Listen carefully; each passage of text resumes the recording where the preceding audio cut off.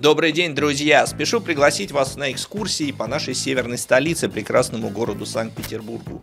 Они пешеходные и теплоходные, самые разные, но неизменно интеллигентные, содержательные и очень-очень интересные. Мы с вами отправимся в бандитский Петербург, революционный Петроград, блокадный Ленинград, поговорим о наших знаменитых городских котах, покушениях на императоров и государственных деятелей, о судьбе крейсера «Аврора» и Зимнего дворца, обо всем, что будет вам интересно интересно. На теплоходе или пешком, в выходные или в будни. Выбирайте маршрут и дату себе по душе и присоединяйтесь к нам.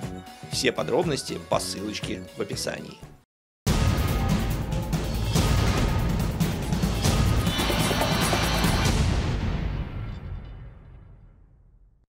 Добрый день, дорогие друзья, с вами я, Егор Яковлев, это «Цифровая история». Сегодня у нас в гостях замечательный гость, которого мы долго зазывали, и наконец-то это свершилось. Владимир Дмитриевич Шильцев, приветствую вас. Егор Николаевич, спасибо.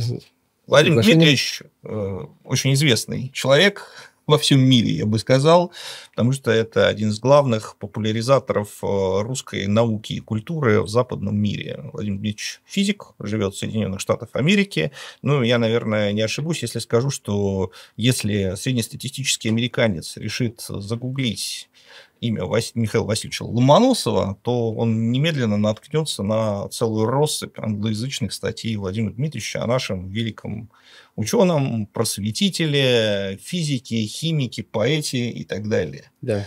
Как так получилось?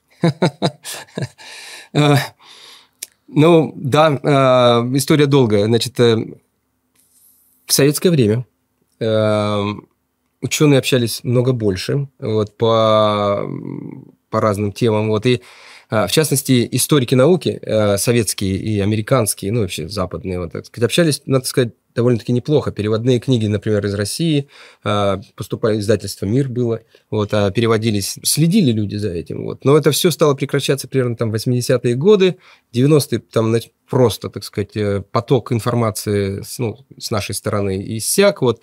А люди, которые занимались Ломоносовым, продолжают до сих пор заниматься Ломоносовым, так сказать, на Западе, они в основном занимались его поэтикой. То есть Ломоносов как угу. поэт и как историк – это было легче обсуждать и исследовать, чем по, как Ломоносов как ученый, например. Вот. Да, и вот буквально выжженное поле. То есть я приехал в Америку в 96 году, вот, и ну, понял, что а, никто ничего не знает. Вот, так сказать, слово Ломоносов, ну давайте скажем так, в 2011 году мы праздновали всем мировым сообществом 300-летний юбилей Михаила Васильевича Ломоносова. Я проводил семинары, лекции в разных э, учреждениях, начал со своего, вот, так сказать, своей национальной лаборатории имени Ферми. Вот, большой зал, там человек 200 собралось. Давайте уточним, где она находится. Она под Чикаго, вот, так сказать, в пригороде Чикаго. Там находился самый большой ускоритель в мире на тот момент, и я был его директором. Назывался он Теватрон. Вот, и только в 2012 году этот наш Таватрон был превзойден Большим адронным коллайдером. То есть я сам специалист по физике элементарных частиц и больших ускорителей. Вот, работал над самым большим ускорителем мира. Так получилось, что а, почти, ну, скажем так, я участвовал в работе разработки ускорителя, строящегося под Серпухов. Большой серпуховской ускоритель, 21 километр длиной. Вот, если бы он был построен, он бы превзошел большой адронный коллайдер. Но он не был построен из-за того, что финансирование кончилось с развалом Советского Союза в 1991 году. Потом я принимал участие в разработке ускорителя под названием суперколлайдер в Техасе. Вот, это 87 километров длиной. Mm-hmm. И, вот, и построив 27 километров, проект был закрыт. Вот, после того, как истрачено было 2 миллиарда, вот еще миллиард на то, чтобы закрыть.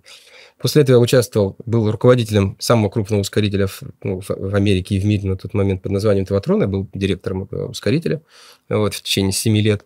Вот. Ну и после того, как пальма первенства перешла другому большому ускорителю, 27-километровому большому адронному коллайдеру в Швейцарии, вот, уже с американской стороны я принимал активнейшее участие в постройке и запуске этого ускорителя уже в Швейцарии. Он до сих пор работает успешно, там производит там, огромное количество новых результатов, там 300 статей в год вот, о новых частицах, там, о новом понимании, как устроены, так сказать, элементарные частицы. Вот, вот этим вот я всем занимаюсь. Вот. Но теперь представляете, вот в такой, это большая комьюнити, то есть большое количество людей этим занимается, ученых. Вот время от времени э, общаемся, естественно, не, не только о том, что происходит, вот, так сказать, в нашем, так сказать, лаборатории, но и соседние, люди культурные и интересные. Вот. Ну, соответственно, 300 а лет... дата. А тут дата. Вот. Ну, и, значит, что произошло? А, я сразу потом скажу, что вот вы упомянули, что если сейчас набрать Google, то, скорее всего, выскочит мое имя. Но только потому, что вот на 300-летие а, самый главный наш физический журнал всех физиков ну,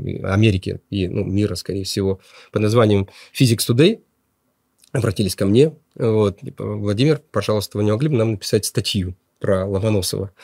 Вот. Ну, то есть, э, Никто... инициатива от редакции исходила, и какой-то интерес но, был. Но им подсказали, что вот есть такой человек, который может написать. Не-не-не, но да. им подсказали, да. что есть человек, который может написать, подсказ... да. Э, написать да. но идея написать о Ломоносове пришла им без подсказки. Да, да, ну, нет. Им подсказали, что 300 лет грядет, ЮНЕСКО будет праздновать. Вот, и, а это физик оказалось, что Ломоносов, он а, не только, так сказать, там, поэт, э, значит, и, значит, историк, вот, и основатель Московского университета, но у него там вполне крупные достижения в естествознании, в том числе там физика, химия, вот, и э, создатель э, открытия атмосферы Венеры, вот, э, создатель вертолета, вот, и так далее. То есть какие-то слухи доходили, вот еще то, что те люди, которые помнят обмен, так сказать, между советскими историками науки и так далее. То есть ну, культурные люди, они помнят, что да, такой человек есть, но никто уже ничего не знает, надо, чтобы кто-то опять рассказал. Вот. Но в результате появилась действительно эта статья, она самая действительно цитируемая сейчас, э, потому что это ну, самый большой журнал, хорошо подготовленная статья. Статья потребовала огромное количество усилий. Вот. В основном с, там, с моей стороны, потому что метод подачи материала для западной аудитории, он вполне такой специфичный, что они знают, а как чем, дойти. В чем специфика? А, ну, надо, чтобы это было интересно. Например, почти, если вы будете читать, э, почти все, э, значит, в отличие от ну, наши простые. То есть мы бы рассказали факты, и все. Я бы им рассказал, что да, вот там закон сохранения вещества, атмосфера и прямо там молекулярная теория. Вот начал бы с такого. Так не работает. Вот. Для аудитории западной а, есть, можно сказать, прям стандарт. Как надо обращаться с вещами для широкой публики. Надо начинать с примера. Соответственно, статья начинается, что в, там, в 1730 году 19-летний молодой человек, так сказать, крестьянского происхождения, с каких-то дальних северов, взяв, так сказать, под мышку две книги, там, э, грамматика, арифметика, двинулся с обозом из Архангельска в Москву. И кто бы знал, ну, я так своими словами передаю, кто бы знал, что из этого человека вырастет, так сказать, один из э, э, столпов европейского просвещения, отец русской науки Михаил Васильевич Ломоносов. Вот примерно такое вступление. То есть надо как-то зацепить человека, завести довести, чтобы человек почувствовал, реальные примеры действуют на захватывание внимания намного лучше, чем если я прямо вот так вот в лоб между, э, между специалистами это подойдет. Можно в лоб прямо начинать рассказывать прямо. Ну, почему я считаю, что вот там неустойчивость, так сказать, в этом ускорителе надо давить с помощью системы обратной связи, так называемой реактивной, а не резистивной. Вообще, без всякого вступления. Вот прямо начинаешь со специалистом говорить о резистивной. А тут надо подать что-то такое, чтобы почувствовали. И люди уже начинают при, прикладывать к себе а, да я ведь тоже, я же там из Сибири вышел, вот, и как-то там добился таких результатов, там, пробился науки. Похоже, что мы с Михаилом Васильевичем одной крови. Ну, или не из Сибири, а ну, из чего, какого-то другого Айда, медвежьего Айдаха, угла. Айдаха какого-нибудь. Потому что люди приезжают из таких углов, ну, то, что смотришь, вот там, э, наука наша, которая занимается, она международная очень, вот, и а, ну, откуда люди появляются в науке, ты там иногда просто удивляешься. А как? как? Соляски есть. Откуда только нет. С Гавайев. Уж там зачем о науке думать, казалось бы. Да, вот. И поехало, пошло, поехало, вот, так сказать. Ну, для того, чтобы подготовить эту статью, потребовалось большое количество, большое количество усилий. Вот. А, но я бы так сказал, что поскольку сообщество все-таки научное, мы не обращаемся к совсем уж широкой публике, потому что это, они, они тоже будут, то, что изложено нормальным языком, вот, все ну, научно-популярные статьи, вот, нормально читают все, вот. Но мы-то знаем, что, конечно, аудитория основная – это 55 тысяч читателей и членов Американского физического общества, которые там на разных mm-hmm. континентах, вот они и читают в основном этот журнал, а остальные просто цитируют. Вот. Для ученых все-таки есть э, более стандартный способ э, передачи информации, это называется публикация. Вот. Ну и публикации начинаются с того, что их не так много. То есть даже просто mm-hmm. переводов э, с статей Михаила Васильевича не так много, потому что он не писал на английском, он писал либо на латыни, либо на русском, э, вот, французский, немецкий. Вот, основной. Ну, конечно, он знал там итальянский, греческий, он 16 языков, так сказать, более-менее владел. Вот. И к моменту, вот, когда вот смотришь на 2011 год, момент, вот, э, публикаций-то с переводами было плоховато. Вот. Была одна книга в 70-м году Генри Личестера, где он в основном там, а, сейчас скажу, 8, 7 или 8 статей по молекулярно-кинетической теории перевел. Да, Николай Васильевич Ломоносов и, и корпускулярная теория. Да. Потом в 2012 году вот э, Стив Роланд и Слава Королев, представители геологического общества Америки, перевели одну из э, фундаментальнейших статей Михаила Васильевича, которую все пользуются, они знают, что она существует, историки науки, это по геологии, о, о слоях земных. Вот. Это действительно, так сказать, ну, одно из оснований насколько современной я, геологической науки. Насколько я понял, я читал об этом, что да. вот это было вообще целое событие для геологического да. мира. Да. Потому да. что внезапно выяснилось, что русский ученый является одним из родоначальников. Правильно. Вот. Но сразу скажу, что ученые все-таки отличаются ну, честностью. Не, они не все-таки не следуют политической моде там, или так далее, там, национальные, там, расовые признаки. Ну, по большому счету не принимают своего внимания. Поэтому, если уж основатель или пионер, то пионер. Вот. И это признавалось всю жизнь, так сказать, начиная с Галилея. Приоритеты, значит, совершенно важно. Поэтому, да, вот кон- конкретно о слоях земных, это одно из основополагающих, и, так сказать, в геологии а, явлений вот, и публикаций. Действительно, каждый, кто пишет историю там, геологии, должен это знать. И они знают.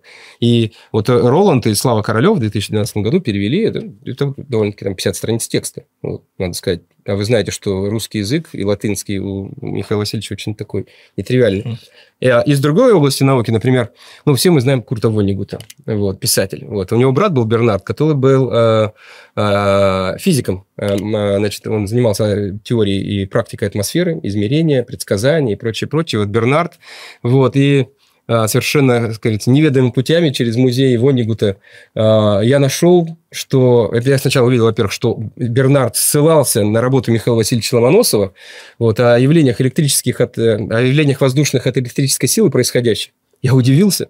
И потом в этом музее Ванигутов нашелся перевод, который Ванигут заказал. Это действительно теория атмосферного электричества от 1953 года. А, знаменитейшая статья Михаила Васильевича. И Бернард Ванигут просто заказал перевод. И после этого, так сказать, подправил этот перевод. Этот перевод, так сказать, какого получается? 63 -го года. Перевод был сделан американским метеорологическим обществом для него. Он потом его переправлял и ссылался везде, потому что вот эта идея о том, что электричество создается вертикальными потоками воздуха, это очень нетривиальная идея. Вот. И она реально, вот, вот так, так реально есть. Вот с этого пошла, можно сказать, современная метеорологическая наука. Вот, а, так что, я не знаю, все ли знают или нет – но механизмы, происходящие при, э, в облаках, и, и как происходит э, накопление электричества, разделение заряда механическими силами, разделяются заряды, положительный заряд в одну сторону, отрицательный в другую, и потом происходит молния, это очень, очень сложная система. Вот, и Михаил Васильевич был один, первый, или ну, минимум один из первых, вот, который э, предложил конкретный механизм. Он, правда, называл это по-другому. Сейчас там есть такая специальная терминология группели. Группели создаются, так сказать, такая полу, полулед, полуснег, полувода. Вот, я, вот в эти маленькие, э, так сказать, э, не скажу шарики, системы водяного состояния, вот, а, а в них происходит разделение зарядов. От Михаила Васильевича считал, что там маленькие жирные частички у него было написано. То есть он тоже подозревал, что все происходит на микроскопическом уровне, вот разделение этих зарядов. Вот. Но а, вот любой историк электричества вот эту статью, ну, так же, как Бернард Ванигут, цитирует, потому что они знают, что вот да, вот Михаил Васильевич... Я вижу там, я прошу прощения, это текст Ванигута, вот дальше у вас на следующем слайде. Да, это текст Ванигута, да. Я тут э, да. мельком увидел, что он чрезвычайно сожалеет о том, что э, работа недоступна на английском языке. Вот, и поэтому-то они за это взялись. Вот. Ну, значит, э, мой скромный вклад состоит в следующем, что а, ну, посмотрев то, что существует, я понял, что ну, надо начинать. Я не могу перевести все, полное собрание сочинений Ломоносова. Uh-huh. Это все-таки 10 томов, из них 4 по науке. Вот. Но сам Михаил Васильевич в конце жизни э, сильно озаботился получением международного признания. Вот. И поскольку у него были высокие покровители, вот там граф э, Шувалов. Шувалов, вот и Воронцов, вот, он их со всеми ними договорился, что вот, типа, ну, едешь в Париж, ну, поговори с французской академией наук, пусть меня, ну, Воронцову просил, пусть меня изберут в академию наук. Там, вот. А для того, чтобы у них, так сказать, легче было избирать, ну, граф попросил, это уже хорошо. Вот. Но еще дай им книжку моих работ наиболее выдающихся. Он нас специально собрал 12 так называемых конволют, то есть сборище уже опубликованных статей. Вот, там находится э, 9 статей, вот, которые сам Ломоносов отобрал. Они уже опубликованы, там из них там, большинство на латыни, потом есть на немецком, э, и, и есть, э, и есть на, на, на, на немецком и на французском. Вот. А, ну и вот этих конвалютов лично, пере, можно сказать, переплетенных Михаилом Васильевичем, сделано было всего 12. Рассылались в разные академии наук, там в шведскую, там в Париж, я так подозреваю, что в немецкие академии, в Болонии. Вот. Но он был в итоге избран академиком Болонской, и шведской. шведской. Болонской и шведской. Вот. Так вот, в Болонской академии я, я сам член этой же академии, что роднит меня с Михаилом Васильевичем, вот, и меня как член академии, так сказать, допускают в архивы, я так хочу, хочу посмотреть на переписку, вот, Михаила Васильевича с, с академиком-секретарем э, Полонской академики Занотти, вот, как раз идет о том, что, э, дорогой Михаил Васильевич, вот, спасибо, что вы нам прислали э, ваш замечательный том ваших работ, работы потрясающие, и по рекомендации графа Воронцова мы считаем, что было бы здорово, если вы присоединились к нашей академии. На что Михаил Васильевич сказал, что спасибо за доверие, да, вот, сходим, мы выслали диплом красивый. Вот, вот это, таких экземпляров всего 12. 12 конвалютов, вот один из них вот, находится в Болоне, остальные я так более-менее отслеживаю, где они появляются. Так вот, там 9 работ. Вот. Из этих девяти работ, которые сам Ломоносов отбирал, переведена была одна, и то не очень хорошим образом, Личестером. Вот. Ну и мне потребовалось 12 лет, ну, по вечерам в основном, перевода либо с русского на английский, либо с латыни на английский ну, э, так сказать, и все они, наконец, переведены. Вот буквально в этом году я закончил перевод последней из этих девяти работ. Это «Оды Елизавете», от э, «Ода Петру Первому», а, значит, вот видите, там о, пользе химии, значит, о атмосферном электричестве, происхождение света, происхождение металлов от трясения Земли, вот, точность навигации, твердость и, э, и текучесть тел, и вот прохождение Венеры по диску Солнца. Вот эти вот девять статей – но это просто самый базовый фактический материал. И он на английском не был доступен вообще. Вот сейчас он доступен в открытом доступе. Вот э, физики имеют такое замечательное э, место под названием архив. Пишется archive.org. Вот. И там, вот даже если я еще статью не опубликовал, вот, но я ее собираюсь опубликовать, уже можно ее туда посылать. Это припринты mm. или уже опубликованные статьи, если у вас там есть возможность. Вот. И вот любой человек может просто зайти и набрать, вот там, например, archive.org, там Шильцев, Ломоносов, и вам вывалятся все вот эти вот 9 переводов, сделанные за последние 12 лет на английском языке. Ну, каждый из них, вот можете себе представить, это 50-60 страниц текста и там страниц 20 комментариев с объяснениями, что же там реально говорится. Это тоже не важно, не, особенно по науке.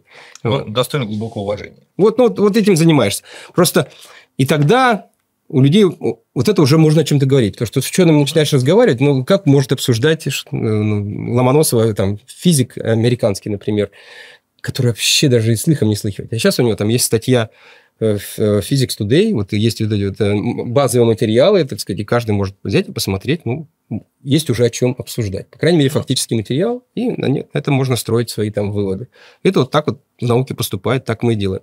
Есть книги, вот, но если, если в, э, в 60-е и 70-е годы этих книг было относительно много, ну, скажем так, я бы так сказал, за после войны, там 7 или 8 книг было про Ломоносова как ученого, то за последние 20-30 лет появилась только одна. Вот профессор Стивен Уситала издал книжку The Invention of Михаил Ломоносов Russian National Myth. То есть изобретение Михаила Ломоносова, в смысле, что Ломоносов – это изобретение. изобретение. Да, что он сам это изобретение. Я читал эту вот. книгу. Да. Мы с моей коллегой Ксенией Чипиковой да. ее буквально с карандашом в руке прочитали. И книга ужасная. Вот Владимир Дмитриевич, мы с ним уже разговаривали, поддерживаем связь, разговаривали про эту книгу. Владимир Дмитриевич как-то даже вот как-то очень мягко. Я спокойно отношусь. Я, э, знаете, в Америке что нет... У меня только что пара из ушей не шел, конечно. Но она просто глупая. Извините, пожалуйста. Почему я спокойно отношусь? Э, там, по, по двум причинам. Ну, одна из них там, то, что there is no such thing as bad PR. Вот, так сказать, это, это уже, по крайней мере, говорят. Вот, уже хорошо. Во-вторых, ну, ну, вот так профессор Уситала видит Ломоносова. Вот у него там есть концепция, он ее как-то излагает. Естественно, ну, там э, поддергиваются нет, факты. Подождите, это концепция, вот. это концепция, придуманная господином Музитала, под которую он подверстывает факты. По мере сил. Вот. Но историки так не работают. Нет, он тут же подвергся критике. Тут же. Вот, так сказать, и, так сказать, там, э, ну, я писал там против него, вот, так сказать, ну, объяснял, что, ну, не то, что против, вот, но Давайте поясним, в чем концепция, да, в чем, да. в чем концепция, концепция господина Узитала. Да. А, концепция заключается в том, что а, в России XVIII века не было реального ученого, который был бы сопоставим с Леонардо да Винчи, Ньютон, еще каким-то другим.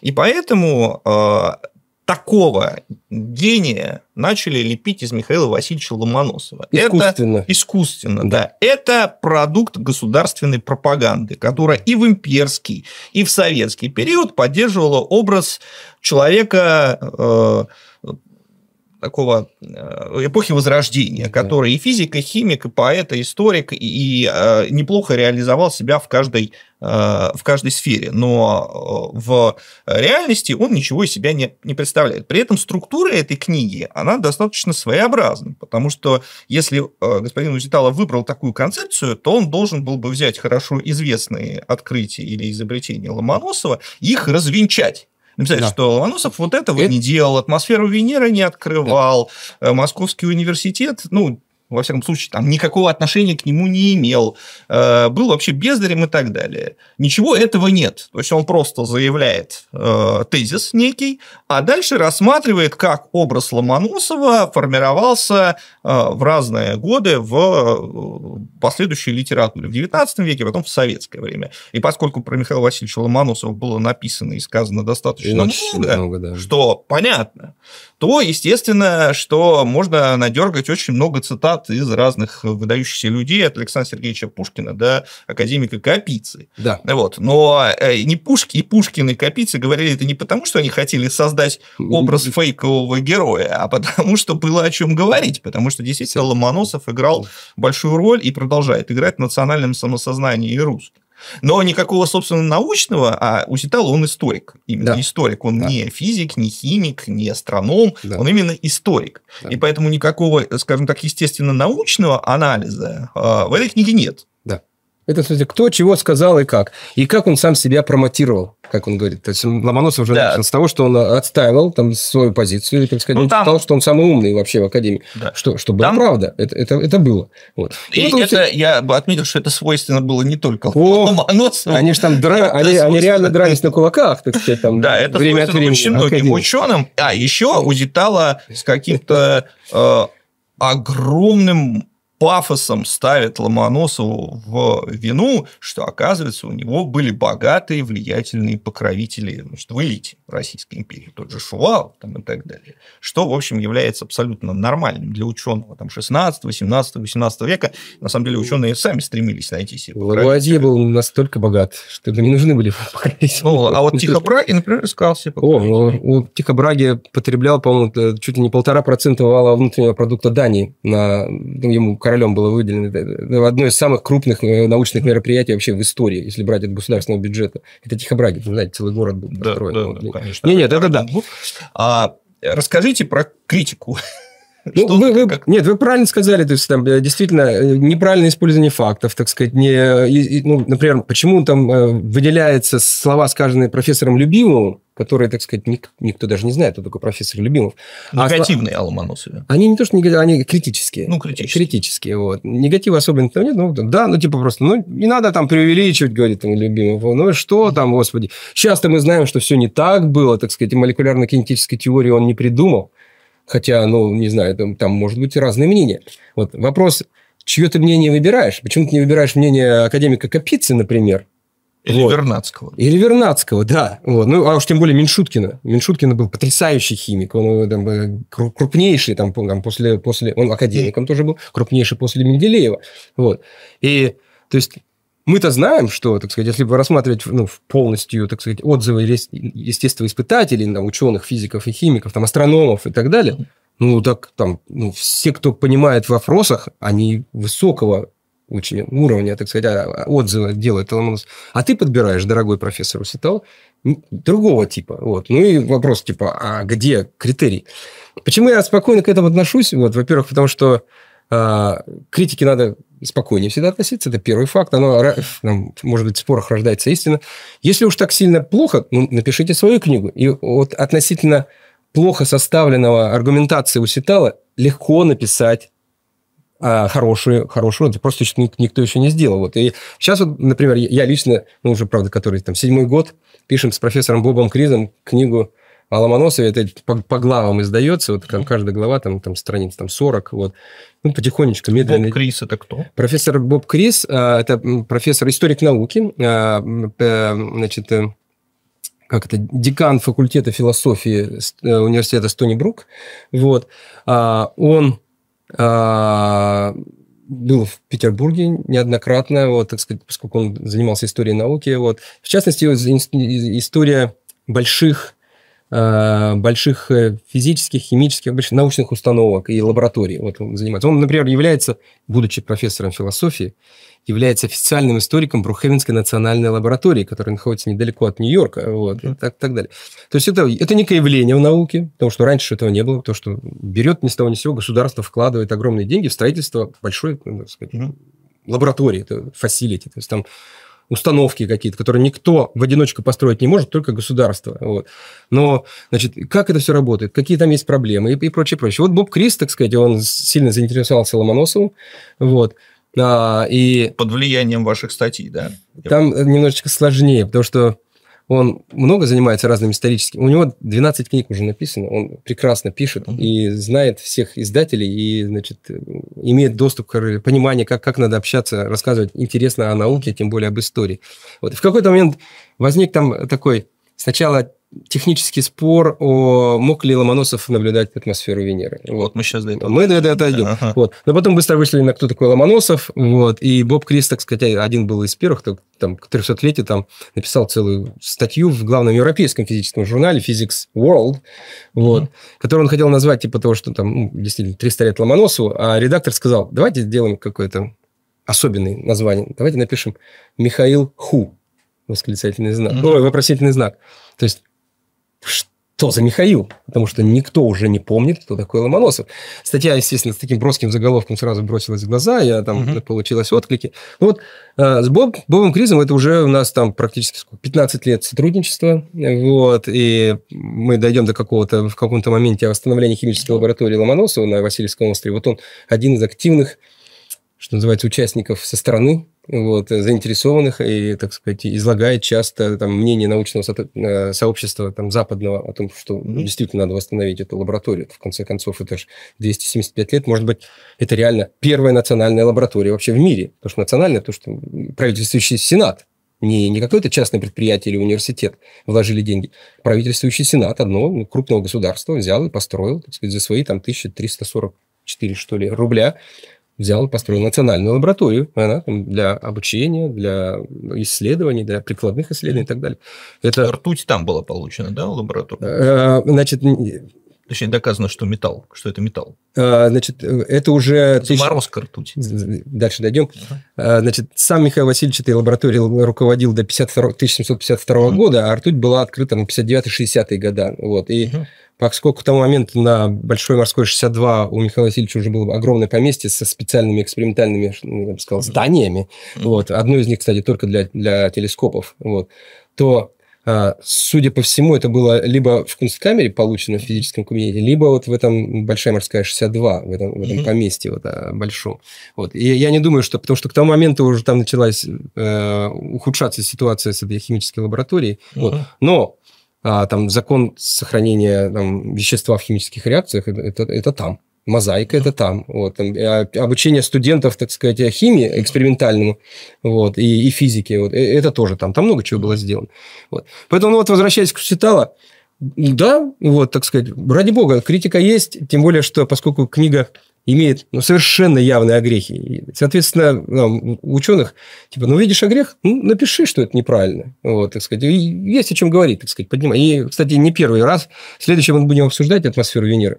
Тоже началось с критики, потому что американские ученые, Пасачев и Шихан, сказали, да не может быть. Без всяких аргументов вообще. Типа, а мы считаем, лично, поскольку мы такие выдающиеся астрономы, что атмосферу э, Ломоносов не мог открыть.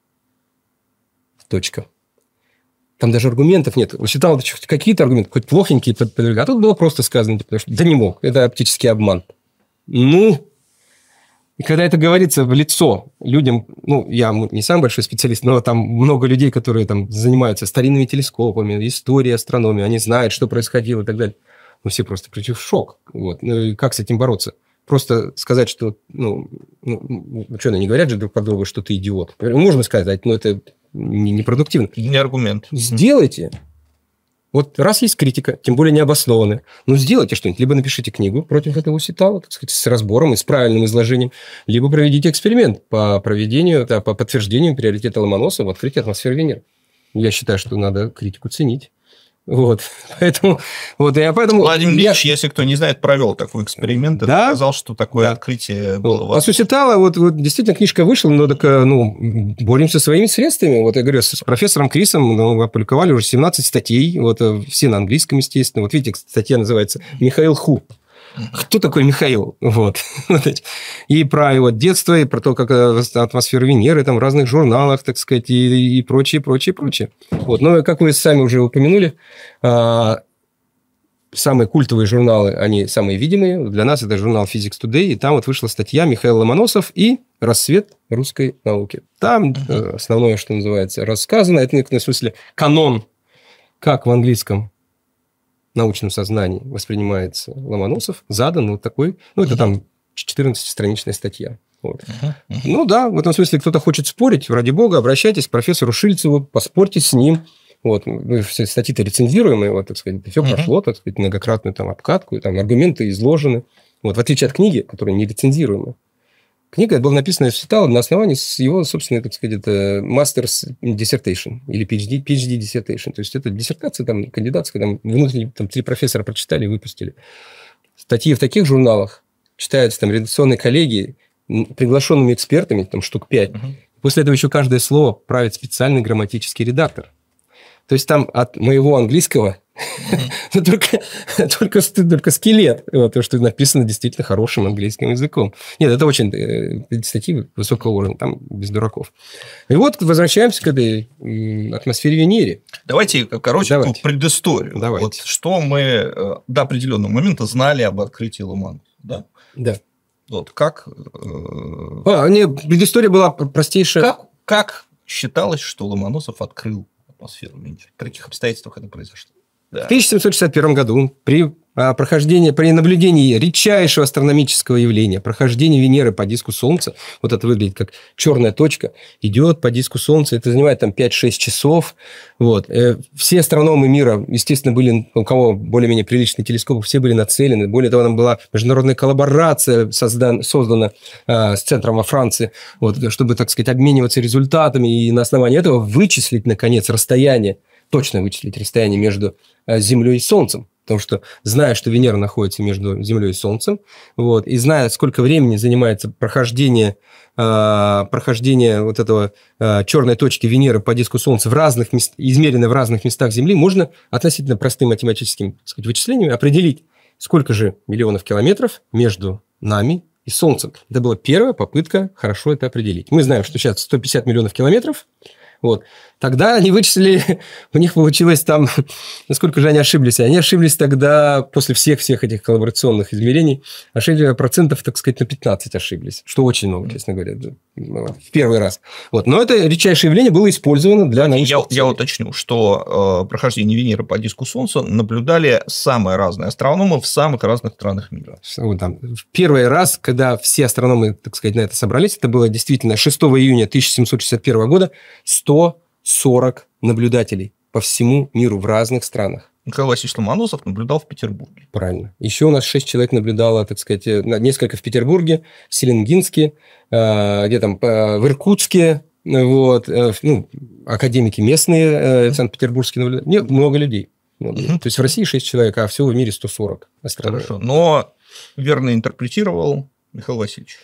Не совсем правильно. Значит, скажем так, основная задача для всех 140 э, астрономов в этот момент была измерить время прохождения по диску Солнца из разных точек Земли. Угу. Поэтому надо было действительно разослать. Разослали там и в Индию, вот, и в, в Южную, в части Африки, вот, так сказать, и а, послали в Сибирь, вот, вот в Читу и так далее людей с разных точек Земли наблюдать, насколько отличаются времена прохождения, и из этого извлечь расстояние от Земли до Солнца. Вот. Это была основная задача, потому что все знали, что это связанные вещи, можно получить хороший научный результат.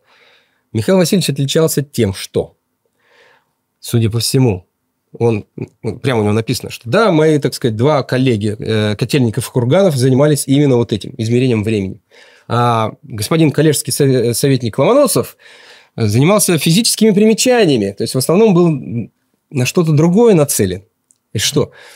Особенно, говорит, хотел примечать, что происходит во время захода и во время выхода Венеры с диска Солнца. И вот там-то вот, он обнаружил совершенно нетривиальные явления. То есть, да, там моменты касаний, э, так сказать, они важны для своих дел, но он-то приметил что-то еще. И вот это что-то еще, с его точки зрения, являлось проявлением атмосферы Венеры. Вот.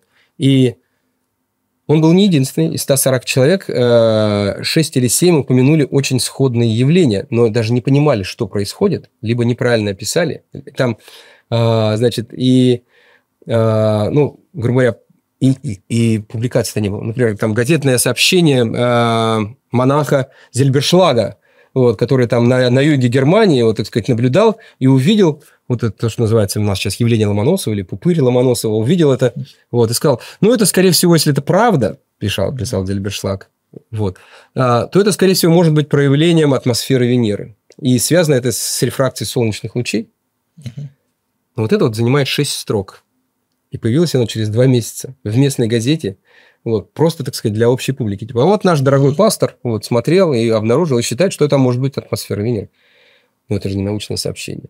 Вот. Так вот, Ломоносов, он, во-первых, более полно все это понимал. Во-вторых, он подробнейшим образом описал. Во-вторых, его описание является правильным. В-третьих, оно настолько детально, что оказывается, что 250 лет спустя, если следовать ну, рецептуре Михаила Васильевича, ученые мира – могли повторить это наблюдение. Вот этим отличается а, научная, а, ну, научный приоритет. Первая публикация правильно описана, правильное истолкование, и более того, все детали технически изложены так хорошо, что их можно повторить 250 лет спустя. Вот. Но вот, тем не менее, Ломоносов наблюдал этот упырь. Вот, он выглядел так, что когда черный диск Венеры подходит к краю Солнца, представьте, что он так вот движется, движется, движется, и вдруг ни с того ни с сего в том месте, где там темнота должна быть. Там ничего не должно, там, там черное зияющее. Тут, тут солнце яркое, прияркое. Тут черное зияющая бездна. Вот. Там ничего не должно быть, а там появляется некий, так сказать, ободок, ореол. И там, ну, или он его называют пупырь. Вот. И потом этот пупырь, так сказать, когда черный диск Венеры наезжает, он в какой-то момент лопается. Вот, как он ее изображен. И это он, он говорит, о, так это получается атмосфера. Вот, и, похоже, там атмосфера-то очень толстая. Вот он говорит, там многократно больше, чем та, которая обливается вокруг нашего земного шара. Вот. Ну, ответ правильный. Вот. А, но, а, значит, и еще раз говорю, что за буквально полгода до того, как это можно было проверить в 2012 году, два американских ученых, причем хорошие ученые, астрономы. Один из них там директор небольшой обсерватории, вот, а профессор а, Джей Пасачев. Вот, вот буквально без всяких аргументов сказали, что это, это не может быть, ну смешно. Потом начинаешь читать, что у них там в других статьях было написано. У них было такое, что, ну, вы понимаете, в 2006 году тоже был, а, так сказать, э, проход Венеры по диску Солнца. У нас-то были замечательные, там, 20-сантиметровые, так сказать, современные, так сказать, э, Шмидт-Кассергейн телескопы, вот, и мы с ними не обнаружили, мы не видели никакого пупыря. Вот. А как Ломоносов со своим там маленькой трубой, ну, все же знали примерно, какой в 18 веке эти были, как он мог-то? Да, скорее всего, был оптический обман. Вот так, прям, прям, если уж мы не могли в 21 веке. И у монахов тоже оптический обман. У кого? У Мана. О, да, да, да. Нет, ну, они... Дело в том, что про монаха-то никто не знал. Я еще раз говорю. 200 с лишним лет это было написано во всех энциклопедиях, учебниках, что Ломоносов открыл. Вот. Угу. Вот. Монах, в принципе, никто не знал, пока я, я не раскоп... я раскопал угу. монаха практически я. вот. вот. А, ну, или там провел всех, кто действительно хоть что-то подобное наблюдал, там, и что они наблюдали, у кого там действительно были обманы, у кого нет. Вот. Ну, вот действительно, вот мог ли, в принципе, наблюдать от арку от Я прошу прощения, я уточню. Ломоносов опубликовал результаты абсолютно по всем правилам науки 18 Абсолютно. века. И, и нет, и по современным тоже. Абсолютно, абсолютно. А где была опубликована эта статья? Статья отдельным изданием. Вышло э, 300 экземпляров на русском языке, 300 экземпляров на немецком языке. Были ра- рас- Разослана раз- во все Академии наук, да? Да, и, и на продажу выставлены. Кстати, они все продавались. Э, Народ сильно интересовался научными результатами, поэтому там, то, что выходило из типографии Академии наук, оно шло в продажу. Мгм. Более того, в тяжелые годы э, Ломоносову, так сказать, зарплату выдавали книгами. Типа, если хочешь, иди продай. Вот книги шли на прекрасно, это почти что золото. Так. Ну и вопрос, вот, соответственно, вот, вот, вот говорят уважаемые ученые, столь же, даже более уважаемые, чем Стивенус и Тала, потому что это, ну, реальные астрономы, вот, что не может быть. Ну, а другие, не менее уважаемые, понимающие в делах ребята говорят, ну, ну, это смешно было. Ну, что, все, 250 лет все научное сообщество ошибалось? Ну, не может быть. Ну, соответственно, ну, что сделать? Ну, самое убедительное, ну, взять и повторить. Вот. Но для того, чтобы повторить, как доказать, чтобы мог, надо подготовиться к прохождению Венеры по диску Солнца 5 июня 2012 года. Вот. Найти телескоп, как у Ломоносова. Использовать световой фильтр, как у Ломоносова. Такой же метод наблюдения, как у Ломоносова. И желательно в нескольких местах. Потому что, знаете, все зависит от погоды, вот поэтому, так сказать, надо подстраховаться. Да, второго шанса может не быть. Следующий шанс для нас, скажем так, если в 2012 году мы провели этот эксперимент, следующий шанс для этого эксперимента будет 2117 год. Вот. Может быть, не знаю, кто-то из нас это же, но я не, не я. Ну вот, и действительно, у нас, значит, собралась коллаборация. Вот, это сейчас ученые любят устраивать коллаборацию. Значит, а, одна группа в Новосибирске, вот, э, Игорь Нестеренко и его коллеги. Вот. А одна группа в Канаде, это Рэндалл Розенфельд, это, так сказать, историк астрономического общества Канады, Мгм. Королевского Мгм. астрономического общества Канады. Вот. Значит, и а, в разных штатах США Юрий Петрунин вот, в Колорадо, Александр Кукарин в Калифорнии и я в Чикаго. Вот, все постарались найти старинные телескопы, похожие на, на, а, на Ломоносовские, и провести наблюдение, можно ли увидеть этот пупырь или нельзя. Мгм. Вот. Значит, а, наиболее приближенный к Ломоносовскому телескопу, который, кстати, тоже вычислить, как выглядел реальный телескоп Ломоносова, это оказалась отдельная история. Сильно помог а, а, Юрий Петрунин. Это профессионал высочайшего класса, кстати, ленинградского происхождения. Он создал фирму, и она фирма работает в Колорадо. Они, они делают телескоп. Но у него одна из самых важных и крупных коллекций старинных телескопов. Он практически знает родословные всех важных телескопов э, за всю историю. Ну, да, начиная от Галилея, кончая Ломоносовскими и остальными. Вот. А, он нашел публикацию Немиро, есть такой э, петербургский э, астроном-историк, который в 1939 году э, видел и провел переписку старинных телескопов, оставшихся от Пулковской лаборатории, обсерватории еще, которая Струвы, и промно написал, вот этот вот телескоп Далонда, слово волшебное, вот, который использовал Ломоносов при открытии атмосферы Венеры. И Немиро видел его в 1939 году, его переписал.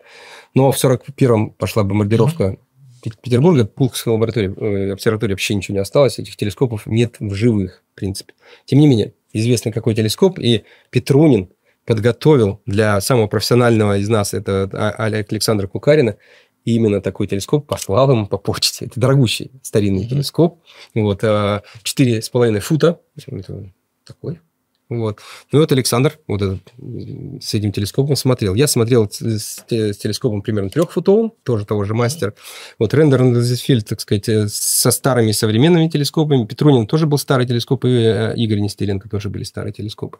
Вот они так выглядят. Действительно старые такие монтировочки. Все апертуры у них по сравнению с тем, которые использовали там, в 2006 году наши коллеги американские, у которых новые, современные, блестящие, там, высокоточные приборы э, астрономические, это был действительно вот уровень той технологии. Вот, действительно, можно сомневаться. А можно ли с такими трубочками, которые там 50-60 миллиметров апертура, увидеть? Или нельзя? Мы же знаем, что самые хорошие телескопы, они имеют большие апертуры. Помните, там на Кавказе 6-метровые, а сейчас уже существуют 30-метровые телескопы, вот, состоящие из множества разных линз. А тут 60 миллиметров. Вот. Мгм. И вот взяли такие телескопы и получили сразу начался обмен. Вот. Поскольку огромное количество астрономов со всего мира, так сказать, наблюдали, оказалось, что а, большинство астрономов-любителей вот, не обнаружили этого явления. Точно так же, как наши американские коллеги. И был смысл, почему. Потом-то мы разобрались, поняли, в чем Мгм. дело. То, что Михаил Васильевич специально сказал битым словом, что я использовал весьма негусто копченое стекло, что в переводе на русский значит слабый фильтр, солнечный фильтр. А солнце – это очень яркий объект, вот, наши глаза не приспособлены, чтобы смотреть на солнце. А теперь представьте, что у вас вместо маленького зрачка, там, там 3-миллиметрового или 2-миллиметрового, поступает вся энергия солнца, которая не ваш зрачок, а то, что собирает телескоп 60 миллиметров. Это многократное увеличение мощности света. Если его напрямую запихать в глаз, то глаз сгорит. Вот. Мы, правда, не почувствуете, там нервов нет, но глаз сгорит и будет там, ну, даже не зайчики, это просто постоянный дэмидж. Поэтому ставят фильтры. Самый стандартный фильтр для того, чтобы можно было спокойно, безболезненно, безбоязненно смотреть на Солнце через телескоп, вот, составляет так называемый фильтр 5.0. Это значит 5 порядков. 100 тысяч раз подавление интенсивности Солнца. Угу. Вот. С ним можно смотреть до бесконечности. Хоть сколько. Вот прямо смотришь, и там видно Солнце, оно такое белесого света и так далее. Вот так вот Ломоносов, весьма негусто копченое стекло. Вот. А, я его лично делал, это стекло. И оно реально было весьма не густо копченое. Где-то у меня там будет дальше графичек. Вот, где-то это стеклышко. О, вот. вот. Это действительно коптишь стекло и смотришь, густо копченое или весьма не густо копченое. Вот. В конце концов, Ломоносов сказал, что ему приходилось давать отдохновение глазу довольно-таки часто.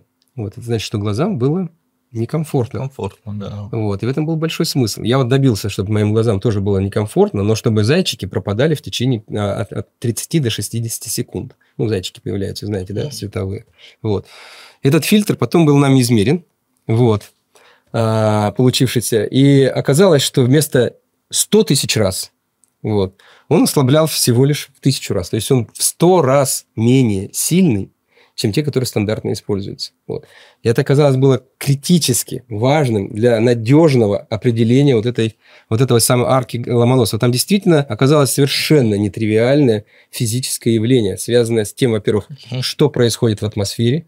Там происходит дифракция на апертуре. А на Западе используется термин арка Ломоносова, да? Да. Арка это Ломоносова. перевод слова «пупырь»? Ну да, как еще перейдешь «пупырь»? да, арка Ломоносова. Вот. Значит, а, дифракция а, на апертуре, вот. значит, а, рассеяние в, в, этом, в, в атмосфере, вот. И, значит, и еще физиологический отклик глаза, вот я вот вам начал упоминать, что почти все от, отклики человеческого тела, э, человеческого, даже мозга, например, на, на славу, вот они логарифмические. Вот. И это очень важное явление, так сказать, на осязание, на глаз и на слух. Вот отклик глаза на сигнал, силу сигнала тоже является логарифмическим, но в определенных пределах. И вот то, что использовал Ломоносов, это позволить увидеть слабый сигнал. Сам сигнал изначально физически он выглядит вот совершенно маленький, тоненький, слабенький. Потом он рассеивается, становится очень-очень слабым. Вот как увидеть такое слабое-слабое сияние – вот, на фоне огромного яркости солнца. Это надо поставить слабый фильтр, чтобы солнце просто было засвечено. Вот как Ломоносов об этом догадался, я не знаю. Я думаю, думаю, что это... Он, похоже, знал, что он ищет. И хорошо понимал, что там происходит. Потрясающе. С моей точки зрения, просто ну, гениальный эксперимент. Вот. И когда мы это сделали, мы, естественно, все это mm-hmm. опубликовали. Вот. И ну, прошло хорошо, весело было. Там, с кучей публикаций. Да, да. Вопрос о приоритете Михаила Васильевича закрыт. Снят, да, абсолютно. Очень важный вопрос от гуманитария. Так. Помогите разобраться. Открывал ли Ломоносов закон сохранения массы вещества? Так сказать, да. Перестала ли ты, ты пить коньяк по утрам? Да или нет? Скажи мне, да или нет, как говорил Карлсон. А, в науке все немножечко более сложное. Значит, э, закон в этом виде действительно был сформулирован вот, Ломоносовым. Действительно, он проводил эксперименты, вот, которые шли, с его точки зрения, в подтверждение этого закона. Вот. Но, а, как бы сказать, полной однозначности нет, потому что, как мы сейчас представляем, уровень эксперимента в то время вот, мог позволять другие совершенно трактовки результатов. А какие реально были результаты, вот, это еще надо, честно говоря, разбираться, потому что в отличие от, например, э, реальной публикации про э, атмосферу Венеры, это 17 страниц текста с графиками, с рисунками, с, с результатами, с объяснениями, так сказать, и выводами, то есть предсказаниями и прочее, прочее, про закон сохранения ну, вещества и в химических реакциях, так, так мы это сейчас называем, вот, состоят только э, в отдельных высказываниях, э, в записях э, на выступлениях Михаила Васильевича на конференции и в письмах к Эйлеру. Вот. Есть в других статьях, но это как бы косвенно, то есть это не было основным вопросом, потому что ну, реально это надо доказывать. Ломоносоведы, конечно, изначально, те, кто не разбирается, просто читает то, что написал Ломоносов и Эйлеру, я там дальше приведу этот, так сказать, кусочек текста, ну, практически, так сказать, это вот формулировка, формулировка закона сохранения материи и движения. Вот, казалось бы. Но слова ничего не значат. Вот, потому что, вот, например, а, если опыт Лавуазье можно повторить, вот, то вопрос а, повторять у Ломоносова что? Где описание эксперимента, где описание техники использованной, где, где описание результатов и где дискуссия.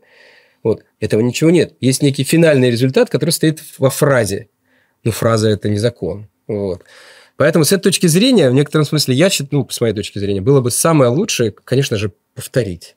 Что же из того, что известно, можно ли это повторить? Вообще этот метод просто замечательный.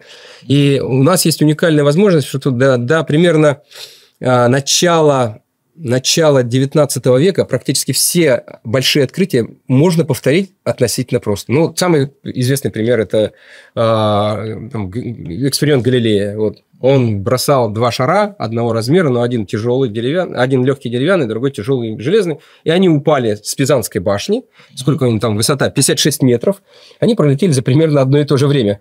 Хотя там один неверующий поп, который внизу стоял, закричал, что нет, там типа четверть пальца была разницы по прибытию, uh-huh. вот, так сказать. Хотя Галилей утверждал, что независимо от массы, скорость падения там, с одной и той же высоты, время падения будет одним и тем же. Вот это был основной закон. То есть это один из законов гравитации. То есть вот, э, э, тела, разные массы и так далее. Это был эксперимент Галилея. Настолько он подействовал на... Вот это было сразу доказать. Каждый его, ну, не каждый, при хорошей подготовке каждый может провести этот эксперимент. Вот. Более того, значит, э, даже когда американские астронавты высаживались, они, как известно, на Луне, они просто показывали этот эксперимент, молоток и перо бросают, вот, и они одновременно, там, воздуха нет, да, на Луне, они одновременно падают на поверхность Луны. Это, вот, так сказать, еще одно подтверждение, так сказать, э, результата Галилея. А, но на людей так сильно действует, что а, с завидной регулярностью прямо в этом городе Пиза с этой самой Пизанской башни организуется, так сказать, целое театрализованное представление, когда один человек там, в форме а, Галилея залазит на эту башню, бросает два шара, и все остальные смотрят и опять убеждаются, что Галилей это был прав. Ну, там есть о чем говорить, понимаете? Башня нужна, расстояние, шары, какого, из чего сделаны, должны быть они разного размера и так далее. И как там измерять. Вот пример. Другой пример, менее, кстати, в обратную сторону работающий, говорящий о том, что этого не было, хотя открытие величайшее. Вот. Это а, электрические работы Бенджамина Франклина. Вот. Каждый американский школьник, вот, сказать, поскольку это там записано чуть ли не э, в истории, Бенджамин Франклин открыл это электричество. американский национальный миф. Значит, давайте скажем так, это даже может быть уже мировой, потому что кто является самым узнаваемым ученым за все века и среди всех народов в настоящее время? Кто этот ученый? Ответ – этот ученый Бенджамин Франклин, потому что его портрет находится на 100, на 100 долларовой монете. Поэтому люди его распознают, никто не знает даже, что он сделал, но знает, что это, так сказать, вот этот великий человек. Вот этот великий человек, он действительно занимался исследованием электричества. Вот, и в одной из своих э, ранних работ вот, он написал простой пример, что он это электричество смог добыть из облака что атмосферное электричество вот, э, образуется в облаках.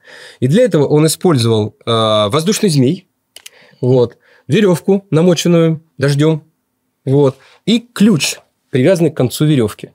Когда этот змей был запущен, вот, а, значит, в июне 1752 года атмосферное электричество по влажной веревке спустилось, а, и ключ, который висел низко над землей, он железный, имел острый кончик, и оттуда э, электрический разряд пошел в землю. И вот это вот изображено на огромном количестве литографий. Это прямо, вот, знаете, как в хрестоматиях написано, что вот человек, который впервые понял природу электричества и смог его обуздать и как-то контролировать, был Бенджамин Франклин. Вот здесь он изображен в этой картинке. Как он с помощью этого змея, и это описано у Франклина. Вот. Ну, значит, миф или нет? Ну, написано же в научной статье. Вот.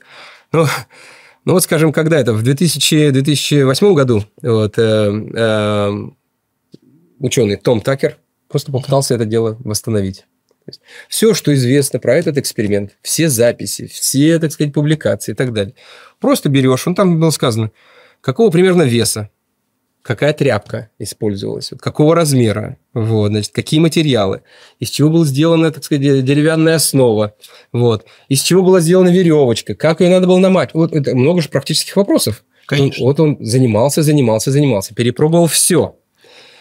Ответ у него был такой. He really didn't do that. Он все перепробовал, он не смог получить этого. Вот, все перепробовал. И поэтому, в конце концов, ну, он, так сказать, не постеснялся. Вот так же, как Уситала пишет свое мнение. Этот человек пишет то, что он реально попробовал. Вот. И он пишет, что, судя по всему, что произошло, это, скорее всего, был the greatest hoax. То есть, грандиознейшая мистификация произошла в науке Бенджамином Франклином. Написано это в книге Bolt of Fate. То есть, это разряд судьбы. И Франклин аккуратнейшим образом, просто потрясающе, э, эффективно использовал вот это, так сказать, мнение о человеке, укращающем электричество, а, в очень важном деле а, установлении а, как независимости Соединенных Штатов. Вот, что это действительно американская нация, отдельно от англичан, вот, имеет таких замечательных людей. Он сам был большим дипломатом. И вот этот факт, что он смог, так сказать, построить громоотвод, это прекраснейшее изобретение, правильно? Вот, его пропагандировали во Франции, ставили эксперименты. И вот этот факт, что это большой ученый, который смог из, из облаков взять это электричество и пустить его через ключ в землю, он прекрасно работал. Это ему было Представьте, одно дело разговаривать с неучем, а другое дело, так сказать, на дипломатическом уровне разговаривать с великим ученым. Вот все разговаривали с великим ученым. Это было Надо использовано для господин, установления... Господину Зиталу посоветовать новую диссертацию написать. Ну, в этом смысле, это вот э, Том Такер, он уже написал. Вот, Нет, но а, Том Такер молодец. Да. Он эксперимент провел. Провел, да. А у Зитал какие эксперименты? Никаких провел? он собрал. Никаких. Вот. Поэтому, ну, слушайте, в частности, про Ломоносова очень много написано. Он же все-таки ученый, там все это. Вот как они проводили с, с Рихманом ну, опыты. Я, я не предлагаю это повторять прямо, прямо у вас на Васильевском острове, но, но вы представляете, что происходило. есть, а, облака-то те же самые над, над вами сейчас, так сказать.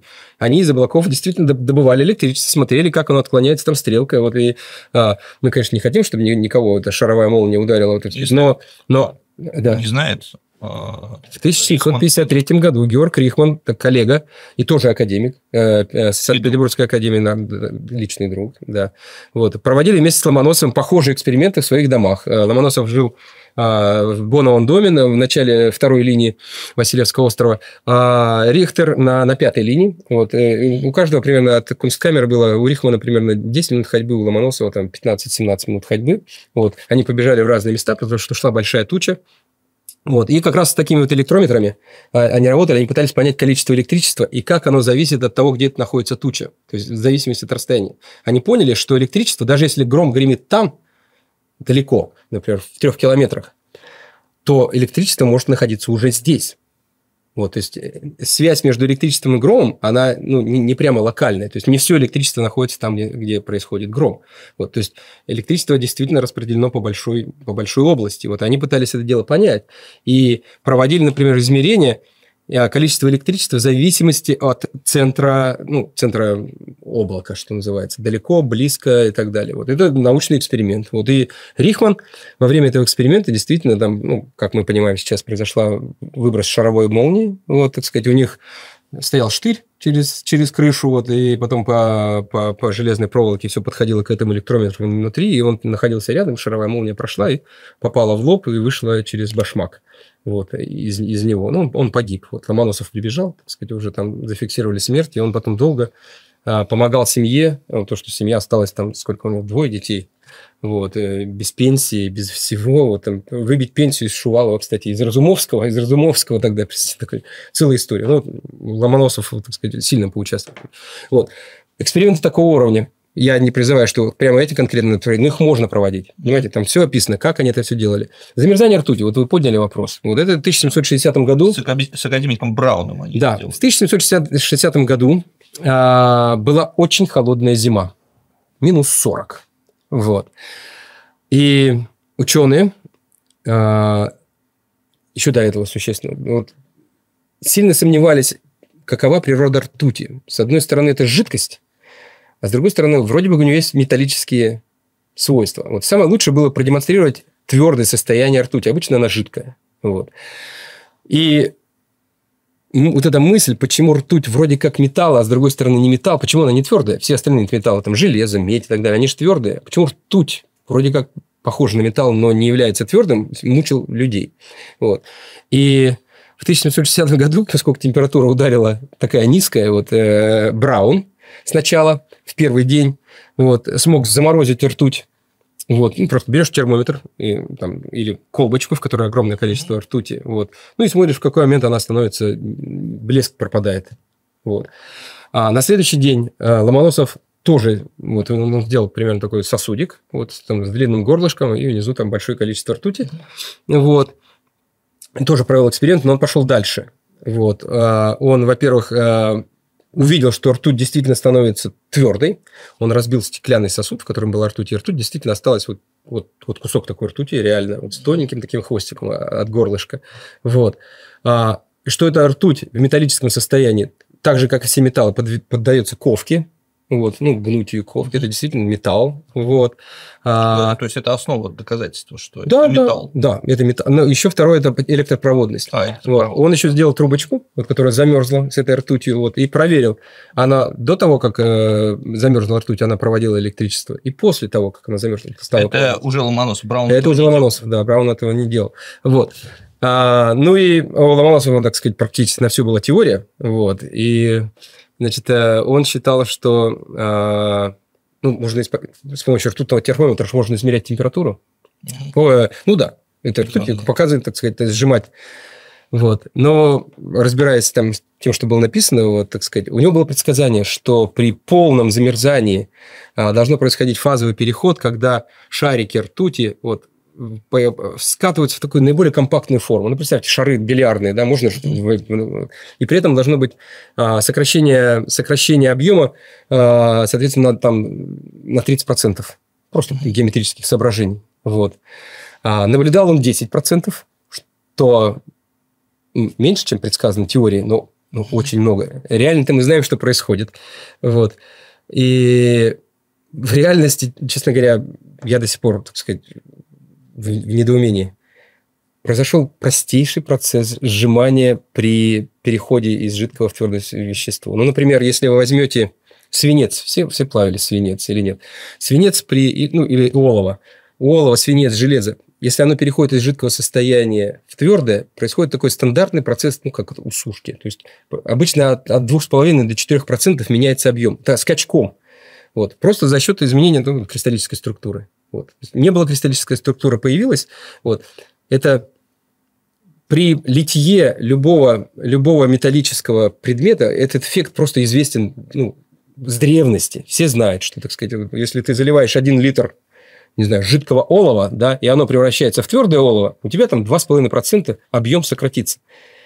Почему Ломоносов не знал этого? И, так сказать, это был простейший эффект, и он его не, не смог правильно описать в этой работе. Вот. Более того, вместо 2,5% он почему-то получил 10%. И он нарисовал даже график, значит, как у него там образовались полости. Вот этот вопрос, а, ну, никто же не изучал это подробно. Вот я, я когда посмотрел эту работу, первый вопрос почему не то, что полагается. Вот мы, мы-то знаем, как ртуть себя ведет. Должно быть, люди там, я же забыл, то ли 2,5, то ли 3,7%. Но получилось существенно больше. Откуда появились эти полости? Может, у него ртуть была нечистая? Вот как такое было? То есть, вот к этой работе возникает много вопросов. Ну да, подтверждение, что это металл очевидный. Электропроводность, ковкость и так далее. Вот. Но взять и провести этот эксперимент я бы, э, сказать, э, я честно говоря, хотел бы. Вот, надо просто найти... Ну, ну, я просто уточняющий вопрос задам. Несмотря на все вот эти ошибки, которые вы назвали, да. это же научный результат? Это научный результат, да, и он хорошо опубликован, с подробным объяснением, как замораживали, куда ставили, какой размер, как он использовал топор, какой топор он использовал для... И, и не только Брауна здесь есть вклад, но и Ломоносов. А, у них публикации отдельные, у Брауна отдельные, у Ломоносова отдельные. Так что они там в некотором смысле описывают похожие, но э, разные результаты. То есть на одной ну, приоритет в чем-то Ломоносова можно. Ну, нет, в частности, в электропроводности, это, это он. Вот. И более того, они оба результата докладывали. Сначала результат Брауна был послан, так сказать, ну, опубликовался в России, потом отослали, так сказать, это Королевское общество, так сказать, в трудах вышло, и Ломоносовская работа тоже вышла.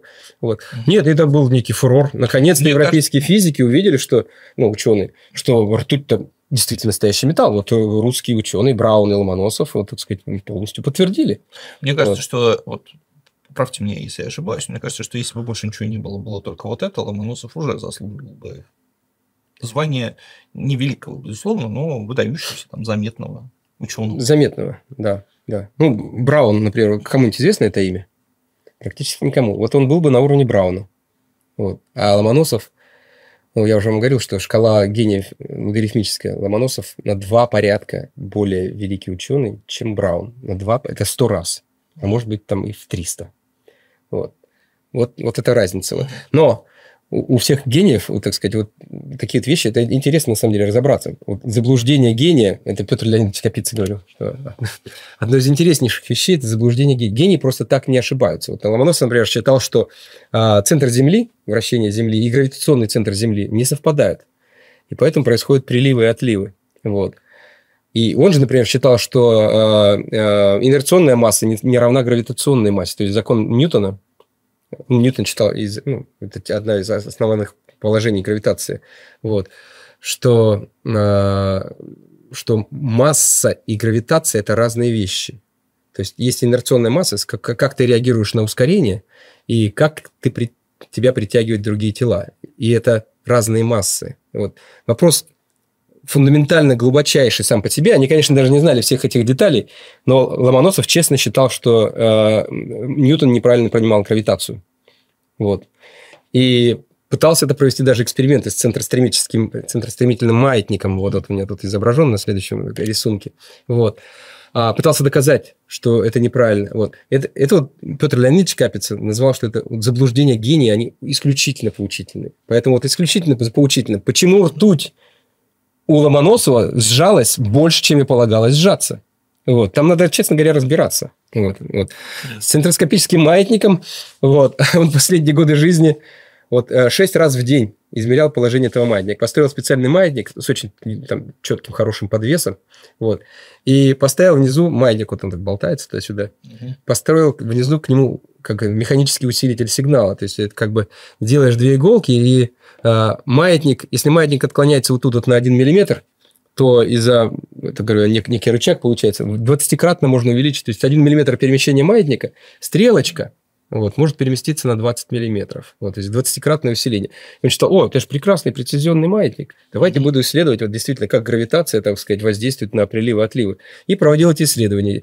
Вот, и опубликовал таблицы центростремительного маятника, но не объяснил, что там написано. Вот, я взял эти таблицы. Вот, они выглядят так вот. Вот это там бесконечно длинные ряды каких-то цифр. Вот. И поскольку их издали, не понимая, уже после его смерти, не понимая, что это такое, вот они так и лежат, и, и никто даже не знает, что хотел Ломоносов реально этим сказать. Они опубликовались, поскольку он был большим начальником, вот, их опубликовали. Вот. Но я взял эти данные, обработал, вот, и похоже, что там в, шумах можно различить сигнал э, приливов и отливов. Э, в Петербурге приливы и отливы очень слабые если в каких-нибудь там норвежских фьордах они могут достигать там 3-6 метров, вот, так сказать, в зависимости от того, где ты находишься по отношению mm-hmm. к океану, вот, ну, вызваны они притяжением Луны и Земли, о, Луны и Солнца, вот, то в Петербурге, ну, вот дай бог, там 5, 7, 10 сантиметров, так сказать, в вашем болоте вот эти, эти приливчики видны. То есть что там реально вот вызвало вот эти вот колебания, похожие на приливы у центростремительного маятника Ломоносова, одному богу известно. Честно говоря, лучше всего было бы все просто взять и повторить. Вот прямо на Васильевском острове известно, что он жил даже на Васильевском, на Большая морская 62, вот прямо в этом месте, поставить этот маятник вот, и посмотреть, мы сейчас прецизионно можем измерять вот, положение этого маятника. Намного лучше, чем Ломоносов. Вот. Сделать такой же старинный маятник вот, и посмотреть, куда это все движется. Увидим мы что-нибудь похожее на результаты Ломоносова или не увидим. Может, это просто, так сказать, там, ну, не знаю, подвес, вот просто стены, стены вашего здания движутся, вот так сказать, а неизвестно от чего. Вот. А там, может быть, это прилив, а может быть и нет. Вот. Да, в этом смысле нет ничего поучительнее, чем заблуждение гения, вот говорил Петр Леонидович. Вот. И у Ломоносова такие эксперименты есть, которые надо внимательно разбираться. И, честно говоря, вот мы провели эксперимент по обнаружению Венеры.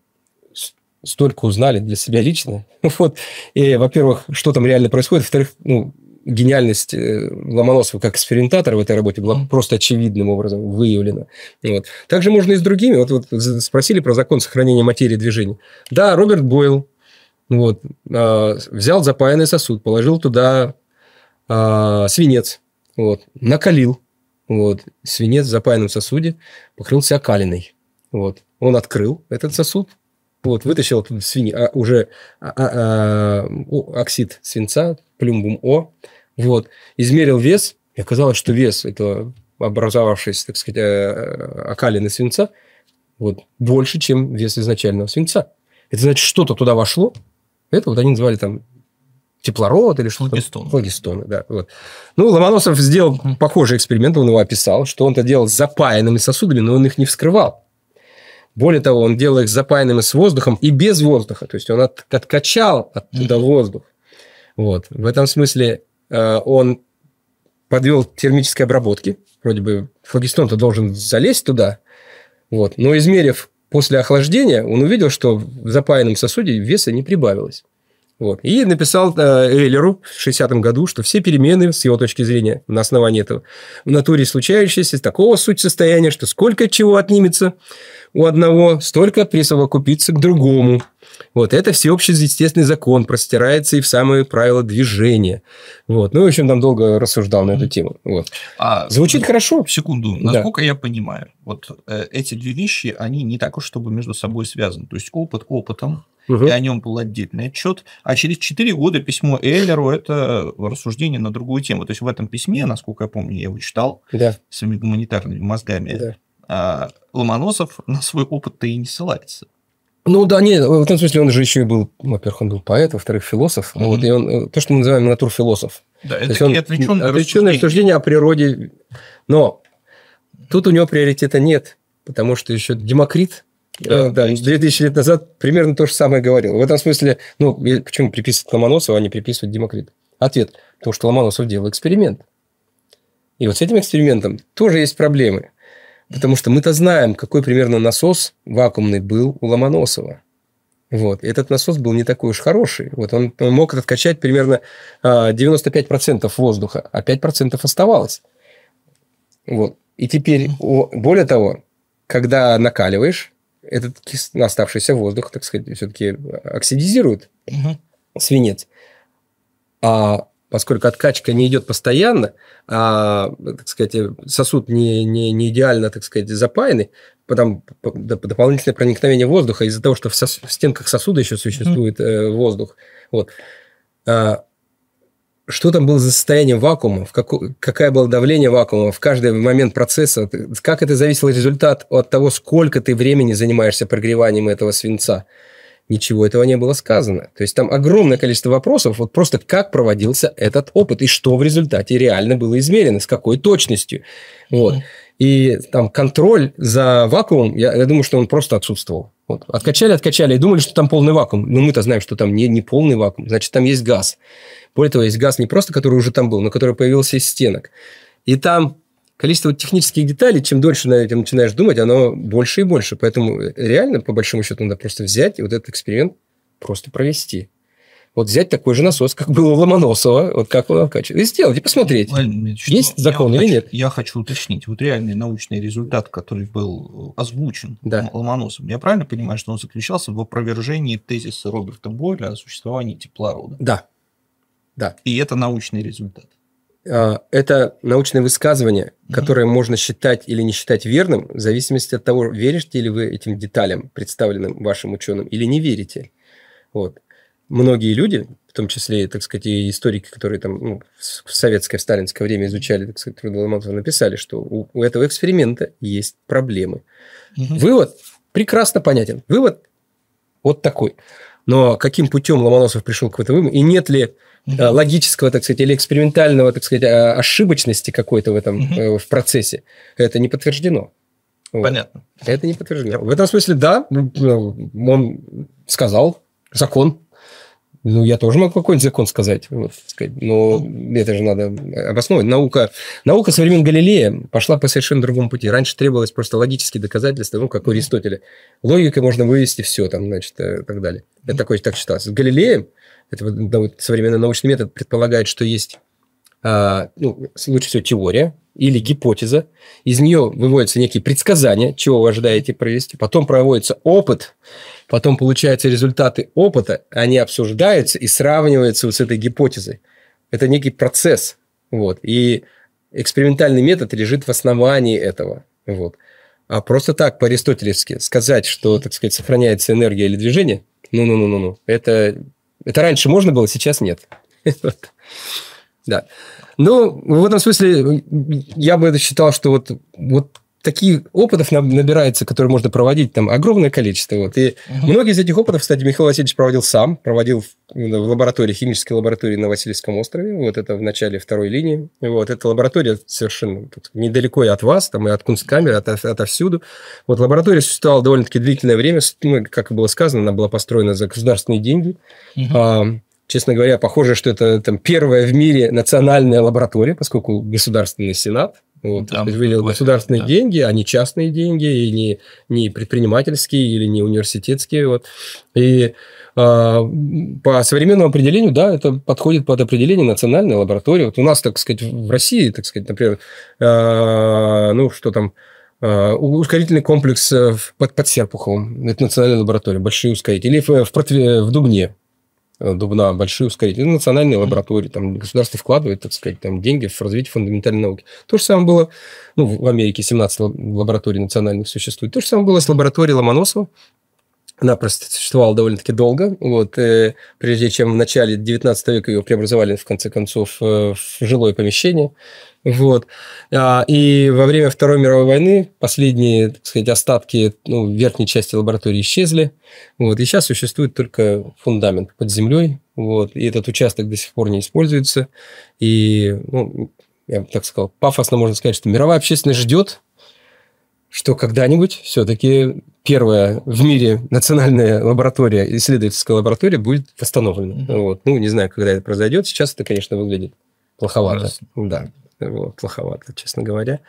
Вот. Хотя фундамент, вот там все, все это есть, вот, что называется, и жители мечтают о том, чтобы рядом с ними была национальная лаборатория, а не еще одна какая-нибудь там либо парковка, либо отель. Да, да, вот, вот я на этом хотел бы закончить, вот, что, конечно, существуют планы, но да, хотелось бы увидеть их реализацию. Хорошо, ну у меня последний вопрос. А Конечно. А как ваши коллеги в Соединенных Штатах Америки реагируют на всю эту деятельность? Вызывает ли это у кого-то, помимо Боба Криза, интерес? Какая реакция на э, вашу работу? Приглашают ли вас читать доклады о Ломоносове в другие университеты Соединенных Штатов? Э, вы знаете, от, вот вы задали четыре вопроса, все ответы да, да, да, и даже некоторые да с восклицательным знаком. А, интерес огромный. Вот. А, не знаю, но для ученых, вот так сказать, вот Пушкин говорил, что следовать за мыслями великого человека есть наука самая занимательная. Вот. И ученые очень чувствительные, вот, вот, вот все новое, оно рождается из ничего. Это сам, сам процесс рождения нового сам по себе, ну, как идеи или эксперименты, или новые, так сказать, открытия. Как они рождаются, сами по себе интересно, и там всегда происходят некоторые раз, развилки. Вот. И один из способов продвижения научного знания – это вернуться к этой развилке, посмотреть. Вот, ну, например, сейчас мы делаем там, ну, не знаю, изучаем экзопланеты таким-то, таким-то способом. В какой-то момент произошла развилка, стали делать там телескоп определенного вида. Но тогда же, в тот момент, ну, скажем, 60 лет назад, были другие варианты. Они как-то отпали по каким-то причинам. И сейчас вот существует только один мейнстримный вариант, как эти экзопланеты исследовать. Ну, можно продолжать вместе со всеми, там 5 тысяч ученых, так сказать, они движутся в этом направлении, так сказать, огромная толпа. Вот. Но если хочешь найти новое, то надо всегда смотреть дополнительные какие-то необычные варианты. И вот вернуться в старое и посмотреть, что происходило тогда, какие были варианты. Вот Петр Леонидович все-таки молодец, капец. Вот заблуждения гения, они исключительно поучительны. Это значит, что кто-то рассматривал альтернативные варианты, даже если эти варианты провалились, вот, это, но, это, но это дело... Да, стало понятно, что... Но, но, но это, был, это были результаты размышления гениев, вот, действительно, людей, которые глубоко понимали в этом что-то есть. То есть там есть возможность искать. Вот, например, э, я упомянул вопрос, что э, Ломоносов, так сказать, не верил в теорию гравитации Ньютона. Вот, что там инерционная масса равна гравитационной. Вот. А, честно говоря, вопрос... Ну, мы-то знаем, что у нас сейчас с экспериментальной точностью нам доступны, они, они равны. Вот. Но вопрос нетривиальный, это э, фундаментальнейший вопрос. Его просто Ломоносов задал на каком-то совершенно простецком уровне, на, на механике там, 18 века. Но если на уровне современной, так сказать, теории частиц, теории образования Вселенной, расширения Вселенной, вот это, может быть, это связано вот с этой самой там, темной энергией или темной материей, которую мы сейчас используем для того, чтобы объяс... как-то обозвать непонимаемые нами явления. Я не знаю. Вот. Но ситуация стоит в том, что во многих, в истории науки есть вещи, которые вот как-то образовалось вот некое основное движение, и все перпендикулярные отросточки как бы забыты. Вот. А там, может быть, что-то и есть. Потому что сейчас мы основное движение движется, движется, движется, опять застопорилось. Во многих науках так это постоянно наблюдается бурный рассвет, потом раз все стопорится. Вот. И вот к, к Ломоносову можно возвращаться, можно к другим ученым тоже возвращаться. Это всегда а, интересно. Поэтому ученые внимательно смотрят. Меня, я говорю, я и Боб Крестном, я не знаю, сколько мы проводили по семинаров по Ломоносову, и в Европе, ну, в России многократно, вот, в Америке, в разных штатах, в разных университетах, в национальных лабораториях. Вот. И юбилейный, не юбилейный, просто, так сказать, вот, например, очень интересует людей тема, вот две темы на выход на современность, почему людей интересует Ломоносов, в частности, атмосфера Венеры. Первое. Одна из важнейших проблем сейчас в науке – неповторяемость результатов. То есть, даже если вы берете результаты, опубликованные в журнале высочайшего уровня, ну, какой-нибудь там, не знаю, Science или Nature, вот, то с вероятностью ну, от 15, скажем так, до 20 процентов этот результат может быть невоспроизводим. Даже иногда даже той же самой группой, которая этот результат получила. они говорят о том, что другими методами другая группа подтвердила этот результат.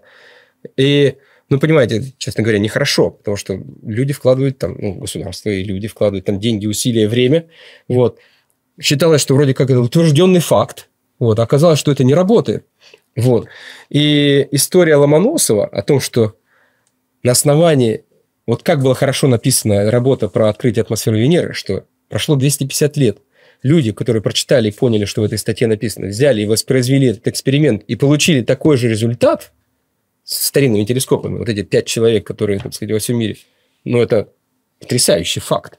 Вот так должна работать наука. То есть, это действительно подтверждение. Вот.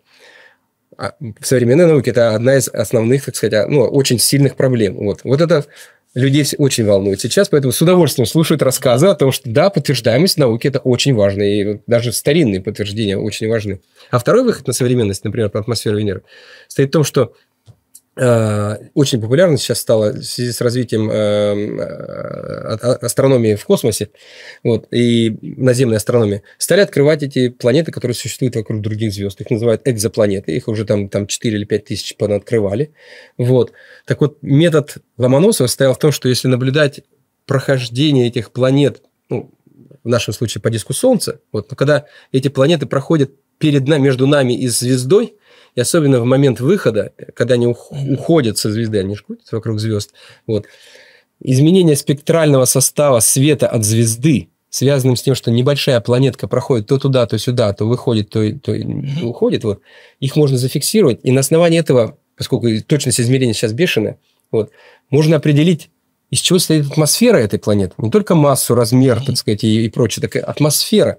Если там вода, если там углекислый газ, кислород, я думаю, другие газы, которые их можно просто увидеть. Ну и некоторые планеты, оказывается, что они ну, чуть ли не обитаем, ну, не то, что обитаем, способность для близких к нашим. Вот. Это вообще потрясающий результат. И это очень бурно развивающаяся область астрономии.